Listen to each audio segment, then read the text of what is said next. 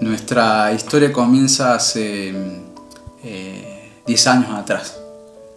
Eh, nosotros hace 20 años que estamos casados y, bueno, 10 años podemos contar de, de haber vivido un mal matrimonio, de haber eh, padecido sin lugar a duda nuestras áreas irresueltas, personales, las que, bueno, como todos sabemos, el matrimonio traído comienza el ser que está al lado a padecer esas esas áreas de nuestras vidas irresueltas.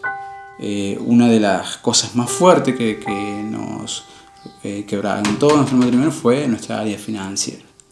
Porque si bien eh, habíamos avanzado, nosotros siempre fuimos gente de trabajo, de proyectos, y habíamos algunos poderlos cumplir, no podíamos establecer con firmeza esos proyectos, y las tomas de decisiones, como decir, en desacuerdo, nos llevó a que el fracaso toca eh, cada vez que intentamos.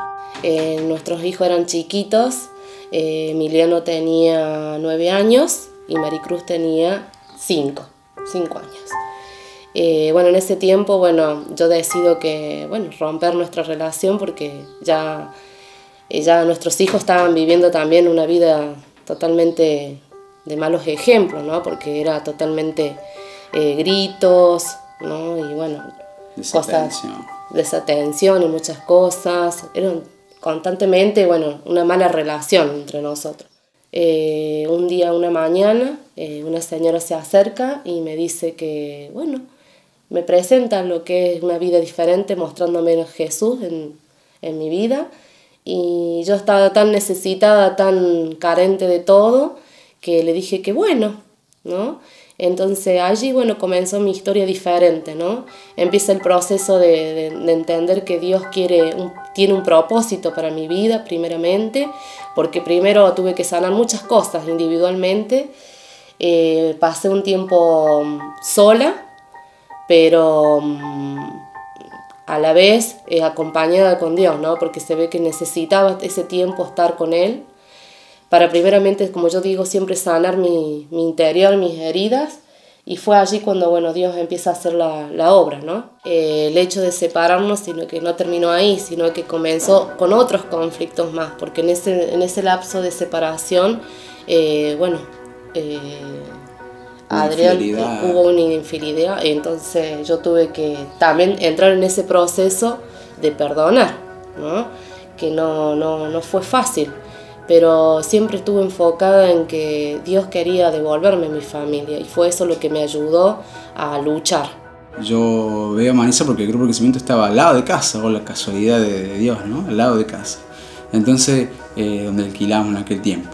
Entonces, eh, un día voy a verla, Marisa, de las veces que, iba a casa, y eh, la encuentro totalmente diferente, cambiada uno que con la persona que convive todo el día y vive y duerme al lado, uno nota otros cambios más que otros, que los comunes que te ven en el trabajo, que te ven en, otros cambios. Entonces yo, yo vi que, que, realmente en ella había pasado algo, que había sucedido algo, que algo diferente había tocado su vida.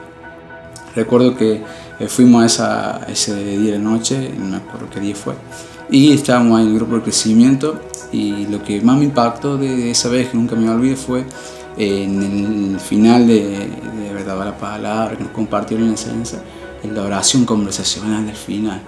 ¿no?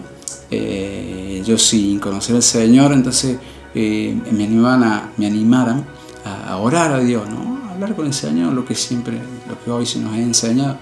Y bueno, mi oración fue pedirle paz al Señor. Que es lo que faltaba en nuestras vidas, que es lo que nunca habíamos tenido. Porque si bien, como decís, nos, casamos enamorados y con todos los proyectos y sueños en nuestro hogar, no había, había paz. Entonces desde ese día yo le doy gracias porque ese día, a partir de ese día yo tuve paz en mi casa. Creo que, que eso fue lo que mm, fue determinante para nosotros, eh, la llegada del Señor Jesús en nuestras vidas. Sin lugar a duda que de otra forma hoy quizá en donde estuviera, donde estaríamos, qué estaríamos haciendo. Recuerdo que después, bueno, cuando que todo este proceso estábamos en Marisa, eh, un día estábamos juntos y, nos tomamos las manos y dijimos, eh, sí o sí tenemos que luchar por nuestra familia.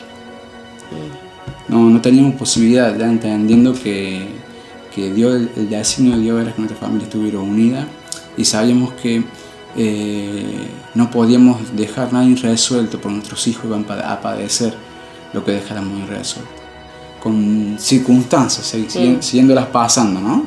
Quizás hoy, mismo viviendo alguna de ellas, pero con el convencimiento, la convicción final de que eh, en nuestra familia está el recurso para nuestra familia y para que nuestra familia se cometa el recurso de la nación.